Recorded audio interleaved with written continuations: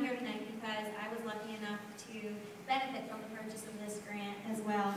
My fourth graders, and I have Jonathan here with me tonight, actually used this same Lego kit to create simple machines as part of our fourth grade curriculum.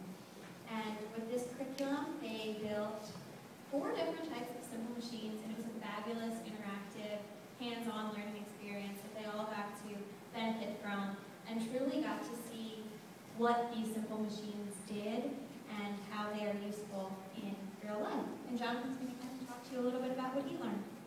Hi. Hi, my name is Jonathan. I'm a fourth grade student at Charles Harper School.